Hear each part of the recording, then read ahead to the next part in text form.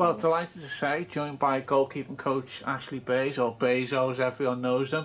Tell us about the news today, some interesting recruit for us on the goalkeeping side. Yeah, we've just signed uh, JB, uh, Joseph Bursik, um, uh, as a professional, showing a lot of potential, and um, I've got uh, good hopes for him. You've often talked about the goalkeepers union. How has he really blended in with the senior goalkeepers? He's done really well. To be fair, he's been he's been at the club from about eight or nine. Um, I started he started coming with me from the age of fifteen in his school holidays before he became a scholar. So I got used to him, knew what he was all about, like what I saw anyway. And um, he's just he's, he's made the natural progression. Um, he trains with us all the time with me and the first team goalkeepers.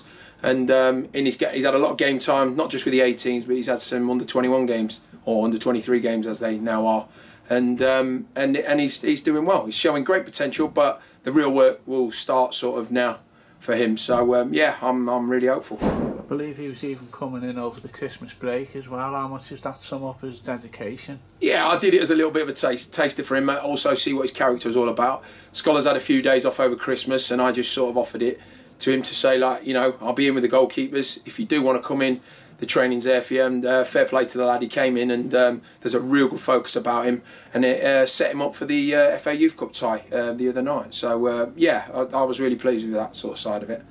What do you think he needs to work on to keep progression? He's all-round game. Um, he's got a lot of natural ability, um, but um, every aspect of his game we're looking to improve. But um, he's a very good uh, modern-day goalkeeper with his feet, which is really pleasing either foot. Um, I'd say that's one of his strengths. Um, but as I say, mate, he's, he's 16. He's showing great potential, and it's really nice that I've got a, a base to work with, and um, I'm really open to push him on. He seems like a confident lad as well. I guess he couldn't be any other way, uh, being coached by himself.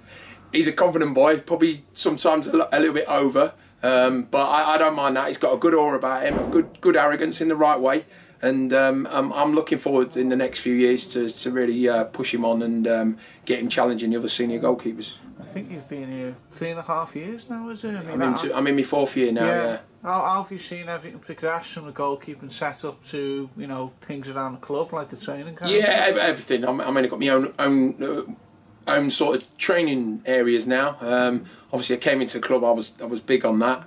Um, and the gaffers let me have the run of it basically.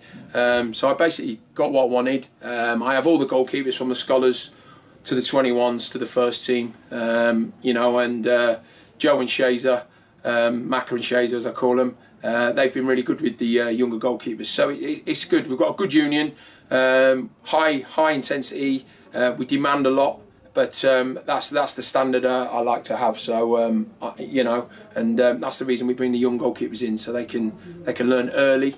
They get to know what it's all about, the mental side and everything. So it's it's good. It's good. I'm really I'm I'm excited.